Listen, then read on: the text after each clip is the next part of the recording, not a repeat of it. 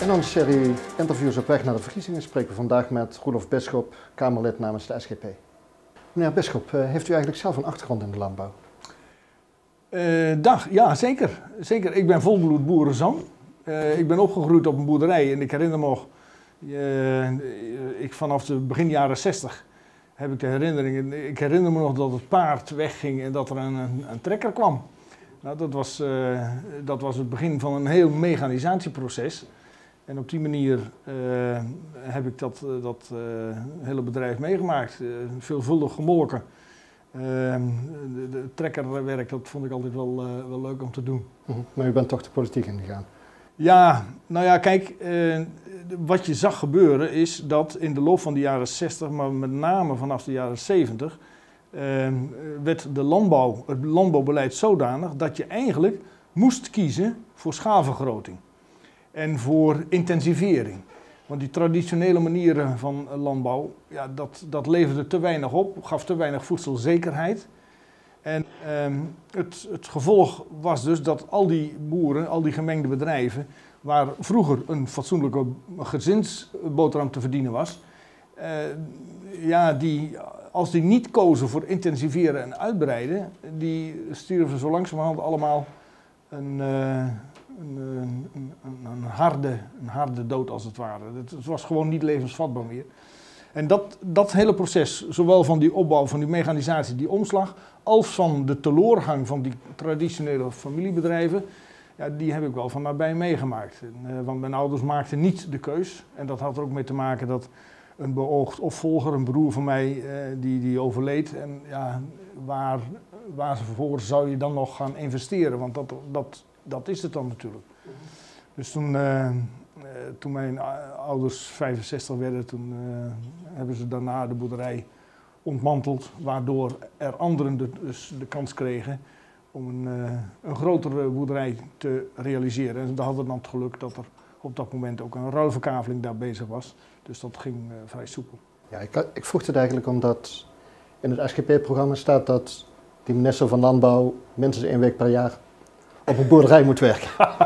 ja, dat is natuurlijk een zinnetje met een knipoog, maar de ondertoon is wel bloedserieus. Uh, ik ben ervan overtuigd dat je alleen goed landbouwbeleid kunt maken als je verstand hebt van landbouw. Dus je moet het aan de lijve ondervonden hebben en uh, eigenlijk aan de lijve ondervinden. Ik merk nu, uh, ik heb wel eens een beetje op een verkiezingsbijeenkomst gezegd van nou, als er nog gemolken moet worden en je komt een kracht tekort, bel me, ik, ik kom. Uh, ik heb dat ook wel eens gedaan, maar ik merkte wel dat ik uh, in die uh, 20, 30 jaar uh, dat ik het sindsdien niet meer gedaan had, dat ik er wel van afgegroeid was. De technieken zijn anders, de, de, de apparatuur is anders. En kijk, de, bepaalde dingen blijven hetzelfde als het gaat over hygiëne en, en, aandacht voor elk van die kwartieren van dat uier en zo. Dat is allemaal niet anders, maar wel zeg maar, de hele behandeling en de hele uh, uh, aanpak van, van het geheel. De, de, de, machinerieën en de apparatuur, zo gezegd. Dus uh, ik merk wel, wil je echt eh, weten wat er leeft, dan moet je gewoon naast en tussen de boeren gaan staan, meewerken en het gesprek vaak aan. En wanneer is dan de laatste keer dat u een koe heeft gemolken? Nu is het denk ik een jaar of tien geleden geweest. Ja, dat is eh, iets, twaalf jaar denk ik. Maar ehm, dat was voor mij dus ook de, de ervaring dat ik merkte van hé, hey, je kunt het nog wel zo stoer roepen en je hebt het veel gedaan uh, en, en, en je, je, kende de kneepjes van het vak, maar um, een, een, een uh, melkstal of een melkrobot is toch weer heel anders dan wat ik gewend was met zo'n weidewagen waar je de koeien aan vastzette, weet je wel. En um, ik heb me toen voorgenomen, ik, ik laat me er niet meer op voorstaan. Alleen ik merk wel dat, uh, ja, dat ik met het, het, boerenbedrijf makkelijk aansluiting heb, omdat ik ook heel veel dingen gewoon weer herken. Ook in het denken en in het benaderen van de omgeving. Als het nou over landbouw en natuur gaat, uh, uh, je komt zelden een boer tegen die alleen maar vanuit landbouw denkt. Nee, landbouw en natuur gaan samen, die versterken elkaar. Die moet je niet tegen elkaar uitspelen. Zoals bijvoorbeeld de collega's van, van D66 en GroenLinks in mijn beleving nog wel eens wat te veel doen. Dat is helemaal niet nodig. als je dat goed aanpakt. Die boer die heeft zorg voor de bodem, die heeft zorg voor de omgeving. Want ja, daar verdient hij ook zijn brood. Het is goed voor zijn vee en ja, zo was de ene hand de andere, zo gezegd. Mhm. Maar denkt u dat naast de minister ook Kamerleden dus een week op een boerderij zouden moeten werken of op een vissersvloot uh, meevaren? Ja, ik denk dat dat, uh, dat, dat, dat soort werkbezoeken absoluut nodig zijn. Kijk, wij maken daar heel bewust werk van. Hè. Dat, wij gaan, uh, ja, buiten coronatijd is dat wat makkelijker. Maar ook nu, wij gaan gewoon op werkbezoek. Wij, wij hebben het op een heel laag pitje gezet, maar je kunt niet zonder. Als je niet op een boerderij komt, bij een boerenbedrijf komt, dat als het ware gewurgd wordt door de fosfaatregelingen die in de klem zijn gekomen door overheidsbeleid als, als gevolg van, eh, nou ja, op het terrein van, uh, van de fosfaatregeling of stikstofwet, dan, dan kun je nog zoveel rapporten lezen, maar zeg maar de feeling, het contact ontbreekt. En eh, als je daar op bezoek bent, dan, dan krijg je ook zeg maar de fysieke eh, input die je nodig hebt om je echt een beeld te vormen van hoe dramatisch sommige situaties zijn. Anders praat je erover en je moet er naartoe om te praten met. En als u dan uh, zegt dat Kamerleden ook uh, bij een boerderij zouden moeten werken, aan welke Kamerleden denkt u dan? Ik vind alle woordvoerders uh, van landbouw. Ehm, kijk, of, of je daar een week moet werken.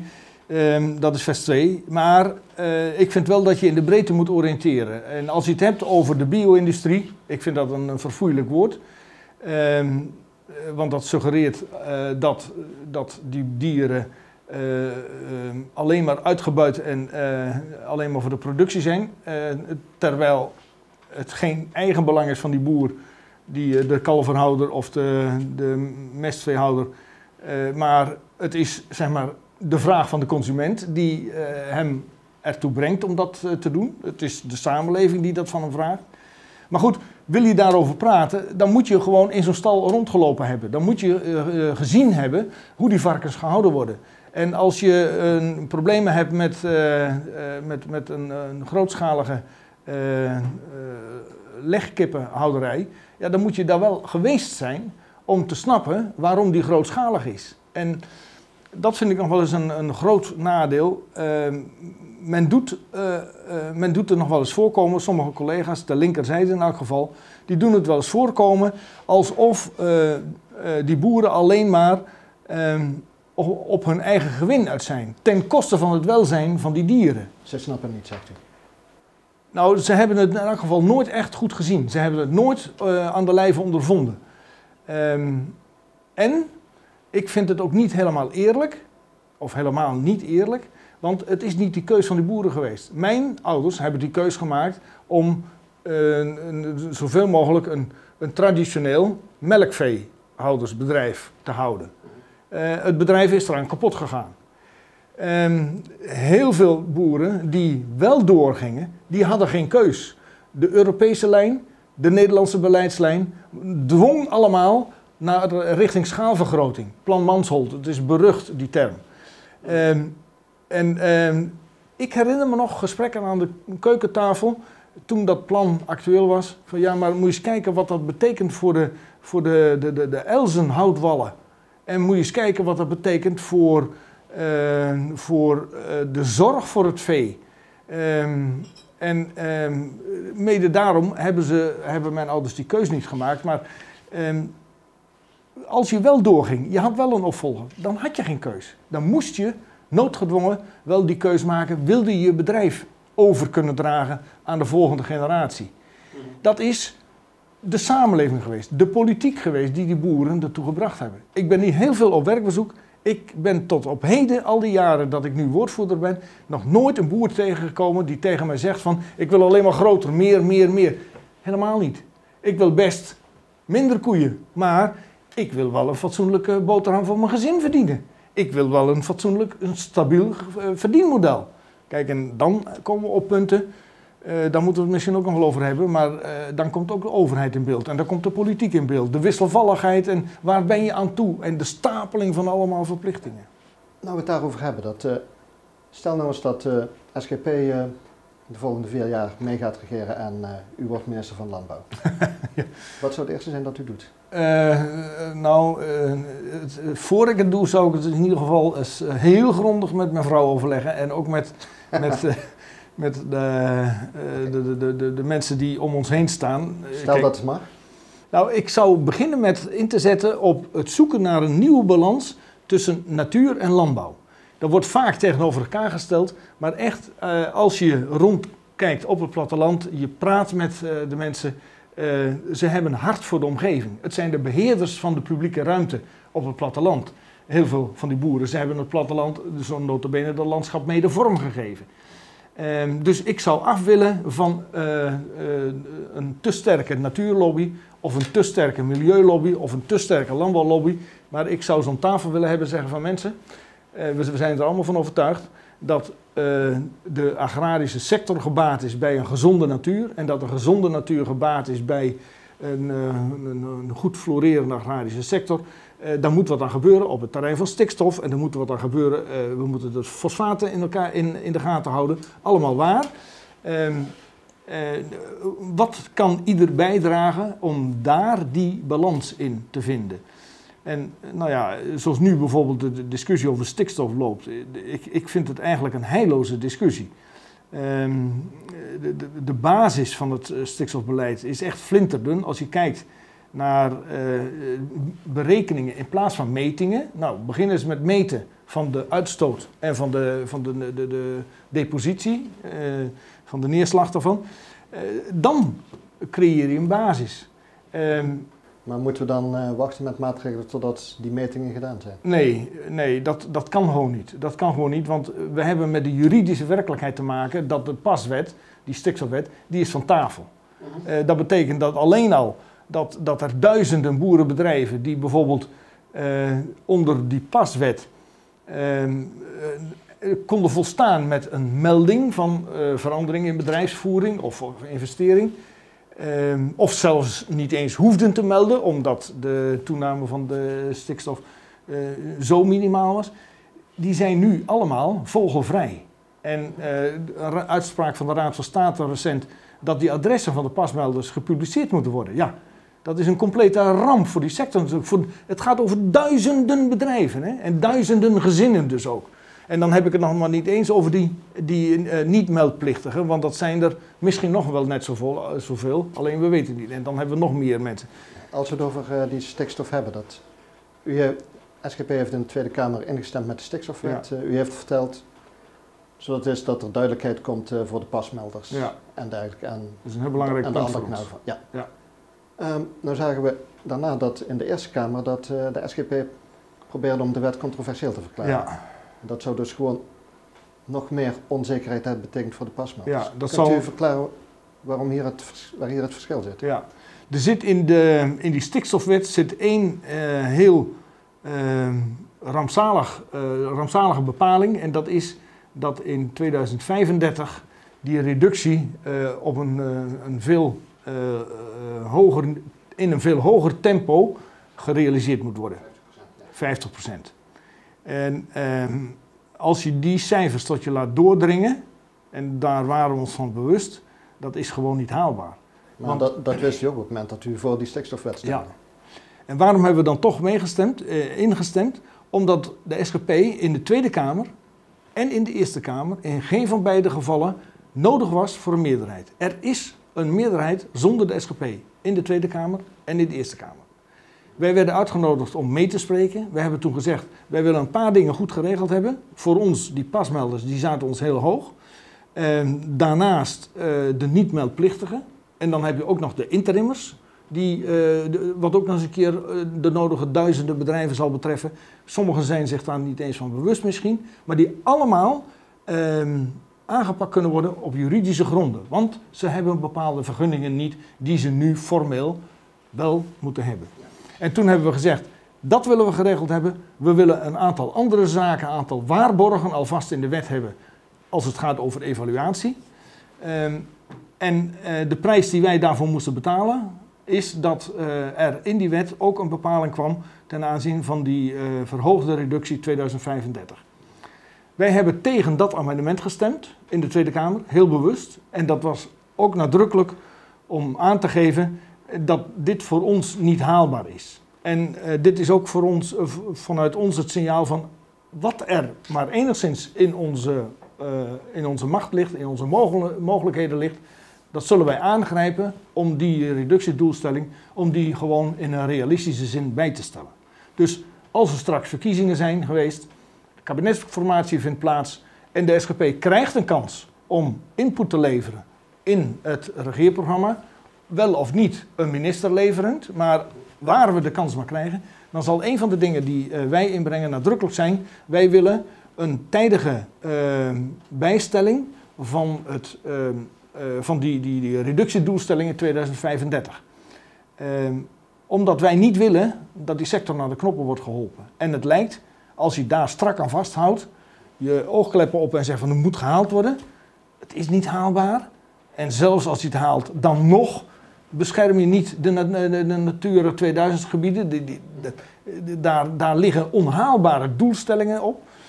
Um, uh, dat moet dus bijgesteld worden. En uh, nou ja, uh, als men geïnteresseerd blijft in de steun van de SGP, en ik, ik sluit dat absoluut niet uit, integendeel, dan denk ik dat op dit punt er veel te verbeteren valt nog. Dan snap ik nog niet, u heeft ingestemd. Een van de punten was om de pasmelders, de knelgevallen, om die zekerheid te geven. Ja. Maar op de, in de Eerste Kamer. Ja, die uh, controversieel. Dat toch proberen uh, om dat controversieel te verklaren. Waardoor, ja. waardoor die hele mensen toch in onzekerheid ja. blijven tot minstens tot de uh, volgende regering is gevonden. Dat kan maanden duren. Dat inderdaad. De overweging die daarbij een rol heeft gespeeld is dat je die periode dat het controversieel verklaard is dan eh, kunt gebruiken, ook in de aanloop naar een, een nieuw kabinet, om alvast een stap te maken, uh, op voorhand al een stap te maken en te sleutelen aan die onhaalbare doelstelling. Dat was de gedachte daarachter, waarom wij zeiden van ja, dit is, dit is zo'n rare doelstelling in die wet. We hebben ermee ingestemd onder protest, uh, omdat we er uh, bepaalde andere dingen in gerealiseerd hebben die, die heel goed zijn voor de sector. Dus onder de streep was het uiteindelijk wat ons betreft in de afweging positief. Maar wij hadden gehoopt, als je dat nou kon, of de Eerste Kamerfractie had gehoopt, als, de, als je dat nou onder de streep, uh, nee, als je dat uh, controversieel verklaart, dan creëer je ook ruimte om ondertussen te sleutelen aan die wet, waardoor, als met een novelle of iets dergelijks, waardoor je die wet toch uh, redelijk snel kunt laten ehm, doorgaan. En je hebt alvast een punt gewonnen, namelijk die doelstelling bij kunnen stellen. Dat, uh, nou is die wet toch niet controversieel verklaard in de nee. Eerste Kamer. Ik denk dat de SGP daar wel voor gaat stemmen. Eh, kijk, de SGP is natuurlijk een betrouwbare partner. Hè. Dat willen we zijn, een man een man, een woord een woord. Uh, ik wil niet vooruitlopen op de discussie in de Eerste Kamer. Uh, want ik heb wel gemerkt, ook bij de, de Eerste Kamerfractie, er, er liggen nog wel een aantal nadrukkelijke wensen op tafel. Daar zal de minister ook in moeten bewegen. Bijvoorbeeld op het terrein van het, uh, het toezegging over evaluatie enzovoorts. Wij blijven wel meedenken en we willen proberen onder die streep het voor de sector uh, nog iets gunstiger uit te laten komen. Dus op het moment dat wij nu zouden zeggen nee, we gaan toch tegenstemmen, dan heb je, vind ik, een uh, geloofwaardigheidsprobleem. Dat is één punt. Maar ehm, je snijdt zelf ook weer de mogelijkheden af om verdere verbeteringen ten behoeve van die sector te realiseren. En ik merk wel bij de Eerste Kamerfractie ook, dat is echt uh, volledige denken vanuit hoe kun je nu uh, met alle nadelen die die wet heeft en die enorme graad die erin zit in onze keel, uh, hoe kun je nu toch datgene regelen ten behoeve van de sector, zodat die sector in ieder geval vooruit kan. En dan sleutelen wij ondertussen wel de komende tijd aan ehm, de verbetering van, van die, uh, dat, die rare doelen die erin uh, staan. Dan wil ik nog even teruggaan naar wat u zei. Uh, als, u, als u minister van Landbouw zou worden, het eerste wat u doet is mensen rond de tafel halen en kijken van hoe gaan we samen ja. verder. Dat, dat heeft natuurlijk ook te maken met de motie die u heeft ingediend bij de stikstofwet over ja. een landbouwakkoord. Ja, absoluut. Ik denk dat dat, uh, die motie die, uh, die is ook heel breed gesteund. Uh, en er wordt nu aan gewerkt. Ik, ik, zou het graag sneller willen hebben. Maar um, het probleem van de landbouw is natuurlijk niet het probleem van de landbouw alleen. Hè. Dat, dat, heeft ook met de, de, financiering te maken. Dus de banken zitten erbij, de, de, de retail zit erbij en de detailhandel zit erbij. Dat zijn allemaal elementen die ermee, of onderdelen die ermee te maken hebben.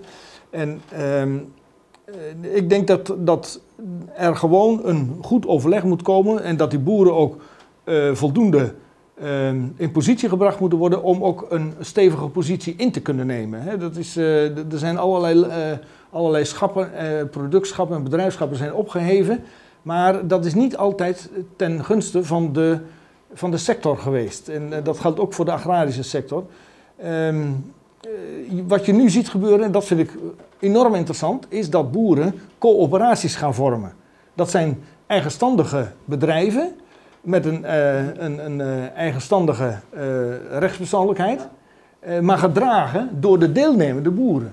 En op die manier kun je dus een veel steviger positie in de samenleving innemen, ook in dat de onderhandelingen. Dat natuurlijk altijd gedaan, coöperaties voor. Ja. Ja, er zijn er nog een paar, ook kleinere coöperaties zelfs, en, en sommige zijn buitengewoon vitaal. Dus ik ben ervan overtuigd dat daar mogelijkheden liggen. En ik vind het interessant dat dat gebeurt.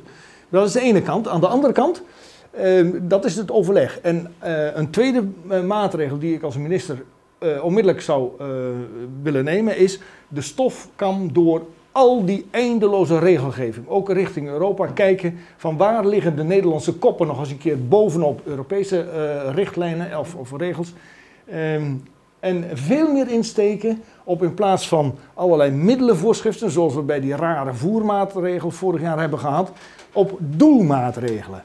Dus een beroep doen op de professionaliteit, op de deskundigheid van de sector zelf. Dat is natuurlijk ook iets wat in zo'n landbouwcode kan worden vastgelegd. Absoluut.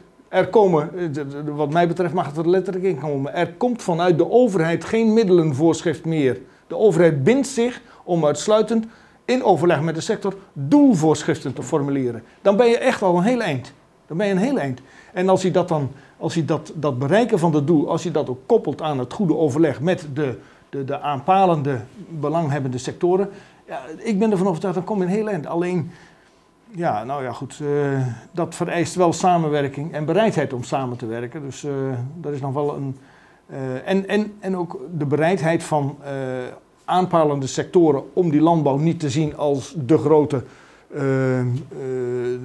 bedreiging, maar te zien als een partner waarmee je moet samenwerken om je natuur- en je milieudoelen te realiseren. En je waterbeheersing en noem het allemaal maar op. Dus uh, nee, er liggen echt kansen. Alleen het vergt een andere, uh, andere uh, basishouding. Ook van de, zeker ook van de overheid. ik merk op de werkbezoeken, die boeren die hebben bijzonder weinig vertrouwen in die overheid. En dat heeft onder andere daarmee te maken dat ze te vaak met maatregelen te van doen hebben gehad. Die voor geen, geen, meter werken. Je mag alleen maar mest uitrijden boven de 20 graden. Wie verzint dit? Ik heb, soms, ik heb soms wel het idee dat uh, het wantrouwen dat boeren hebben tegen de overheid het ook wel wederzijds is. Ja, dat is ook zo. Het, je merkt gewoon alleen al als je in de, in de commissievergaderingen zit. Bij sommigen druipt het wantrouwen tegenover de agrarische sector eh, dat druipt er vanaf. Daar, daar hoef je niet eens op te drukken, dat spuit gewoon omhoog. En dan denk je, ja jongens, ik zie ook wel uh, in bepaalde situaties dat het echt fout gaat. En dat moet je ook echt aanpakken. En weet je wat die boeren zeggen, die dat soort dingen ook zien? Die zeggen aanpakken. Die, die, die verpesten onze goede naam. En die, die misbruiken de dieren waar ze verantwoordelijk voor zijn die mishandelen ze. Dat moet gewoon aangepakt worden en ehm, een houtverbod uh, is, is voor hen dan alleszins begrijpelijk. Maar hoe zou dat wederzijds wantrouwen kunnen worden opgegeven of verminderd? Gesprek, gewoon met elkaar in gesprek gaan. En ehm, ehm, misschien is dat wel het derde wat ik zou doen. Ik, ik, ik denk, ik, ik weet niet hoe vol zo'n agenda van zo'n minister is, maar ik zou ervoor zijn om elke week één dag gewoon laars aan, overal aan en uh, het land in de boeren opzoeken. Of de of de ambtenaar? Of? Uh, en, en, en een stoet ambtenaren die ook allemaal overal aan en desnoods een boerenpet op en, uh, en uh, laarzen aan. Gewoon het land in. letterlijk en figuurlijk. Hè. Dus ehm, je haalt echt, we, komen dat elke keer weer tegen. Ehm, wij hebben natuurlijk vanuit de sector ook vragen gekregen van hoe kan het nou dat je voor die stikstofwet stemt? Wij gaan met die mensen gewoon open in gesprek. Jongens, dit was de afweging. We konden aan de kant gaan staan en mooie amendementen indienen en weten van nou, er wordt niet naar geluisterd. Wij zijn ook bovendien niet nodig voor de meerderheid, dus we stemmen tegen. Dan heb je goede sier gemaakt, maar je hebt onder de lijn uiteindelijk niks voor die sector gedaan. En toen hebben wij dus, uh, dan leg je uit, toen hebben wij heel bewust gekozen, oké, wij gaan een lastig verhaal aan. Wij gaan uh, een, een, een, traject in wat, wat uitleg behoeft. En, maar wij zijn ervan overtuigd dat het uitgelegd kan worden en dat het een goede keuze is. En wat kom je dan tegen in de sector? Oké, oké, ja, ik snap het wel. Ik snap het wel. Uh, maar het is wel beroerd van inderdaad die idiote doelstelling die erin zit. Zeker, dat is een graad in de keel. En daarom uh, daar blijven we aan shoren, duwen en trekken, ook de komende jaren, totdat dat gewoon in een realistische zin bijgesteld en dat, en dat gaat lukken. Alleen, ja, uh, hoe weet ik nog niet, want ik kan ook niet in de toekomst kijken. Maar er komt een moment dat zelfs de meest fervente criticaster van de agrarische sector in gaat zien, wij maken onze voedselzekerheid, onze voedselkwaliteit, uh, die maken wij kapot als we op deze manier doorgaan. En uh, dan keert de wal het schip en ondertussen, als dat niet tijdig gebeurt, kan er heel veel schade aangericht zijn. En dat willen we zoveel mogelijk uh, voorkomen. Dus, Ik wil dit interview afsluiten met een paar vragen van onze kijkers. Oké. Okay. Ehm, de eerste is van de heer of mevrouw Treur. Wanneer komt er een parlementaire commissie die onderzoekt het wangedrag van de overheid ten aanzien van het ammoniakbeleid van de afgelopen 30 jaar? Ja, dat is een hele goede vraag. Uh, wij hebben daar nog niet op ingezet.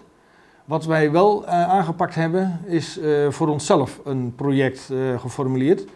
Ehm, samen met een aantal deskundigen om ons heen. Kijk, wij, wij behalve werkbezoeken, we hebben ook een landbouwplatform. En ehm, we kennen ook een heleboel deskundigen die op allerlei terreinen input kunnen leveren. En dan uh, zonder, zonder politieke bijgedachte of zo. Maar wij zijn bezig om samen met een aantal deskundigen systematisch in beeld te brengen van wat er nu allemaal gespeeld heeft op het terrein van de stikstofpolitiek, ammoniakbeleid. Ehm, en ook ja, de Raad van State geeft er ook aanleiding toe. Die heeft daar ook een uitspraak gedaan over de doortrekking van de A15. Ze van ja, maar kijk nou eens, metingen bij uh, de agrarische sector doen jullie zo. En metingen als het gaat over uh, de infrastructuur, dan doe je het zo. Leg maar eens uit waarom je het ene model voor dat en... en dus daar hebben ze nog een groot, groot probleem. Dat kan grote nadelige gevolgen hebben trouwens ook voor de agrarische sector. Hoor. Daar zijn we ons zeer wel van bewust. Ja, precies. Um, en dat, dus... Um, dat vinden we een, een, een, eh, een, een heel belangrijk punt. En wij willen dat gewoon boven tafel hebben. Uh, het bijtekenen van natuurzoekgebieden op kaarten, ERIS-kaarten. Uh, we hebben net een, uh, een, stukje op de website geplaatst wat ons als rare constateringen gewoon opviel. gebieden waar stikstof eigenlijk geen rol speelt, wordt toch bijgetekend als stikstofgevoelige natuur. Eh, dus daar is, eh, of het een parlementaire enquête moet worden, weet ik niet. Maar wij, gaan, eh, wij zitten er bovenop en wij komen hier, ik, denk nog, ik denk dat het nog lukt voor de verkiezingen met bepaalde bevindingen. Tenminste, als ik zie wat er nu in korte tijd al boven tafel is gehaald. En er zijn ook zeer deskundige mensen die ook al heel veel weten en die ook daarin met wie je samen kunt optrekken. Dus nee, het, dit ontsnapt dit beleid ontsnapt niet aan onze aandacht, zal ik maar zeggen. Dat, dan een vraag van Fokker Buining. Dat, die vraagt waarom komt er geen risicotoeslag op geïmporteerd voedsel en grondstoffen die geen Nederlandse kwaliteitskeurmerk en controle hebben ondergaan.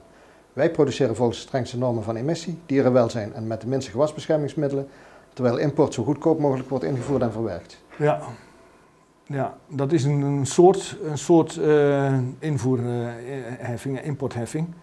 Um, dat, dat politiek gezien zullen die dat er nooit doorkrijgen. Maar dit is wel precies de reden waarom wij tegen CETA hebben gestemd, tegen die vrijhandelsverdragen. Want er wordt wel met allerlei mooie woorden gezegd van het moet aan de Europese kwaliteitsnormen voldoen. Datgene wat straks via Mercosur, als dat allemaal doorgaat, uit Zuid-Amerika komt of uh, via CETA uit Canada. Maar wie controleert dat? Hè? En uh, hoe, hoe, weet je dat, dat de, de hormooneisen die voor, voor de Europese voedselproductie gelden, dat, dat dat daar ook gerespecteerd wordt? Dus dat is precies onze, de reden voor ons om te zeggen van nee, um, voor de agrarische sector is het een, eigenlijk een vorm van concurrentievervalsing. Want je kunt niet ehm, op die schaal produceren uh, in, in, binnen Europa en voldoen aan die eisen. Uh, terwijl je buiten Europa, producten die je van buiten Europa importeert, schoolvoorbeeld is natuurlijk de Oekraïne, de, de, de, kippen en de eieren, ehm, dat je dat formeel wel de eisen aanstelt, maar niet controleert. Want wie controleert die Oekraïnse producten? En hoe zit het dan met de markt binnen Europa?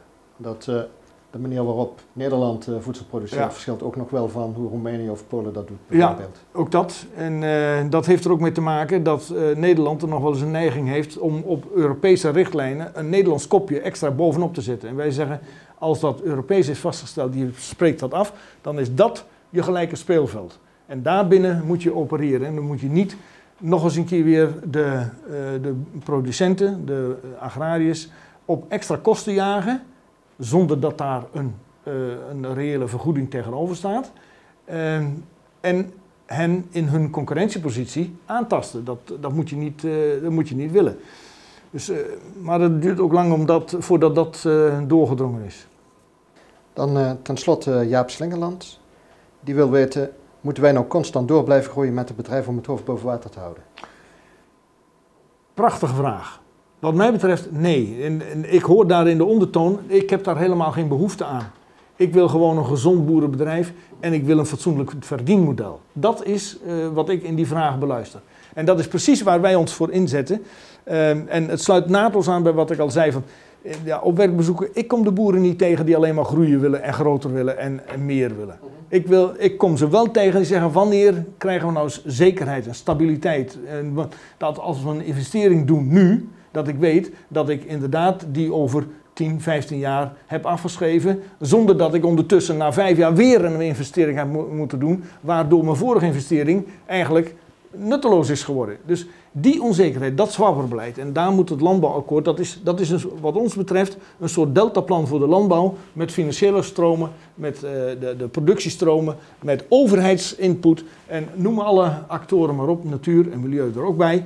En dan is het ook 10, 15 jaar gewoon rust in die tent. Zodat die boeren weten waar ze aan toe zijn.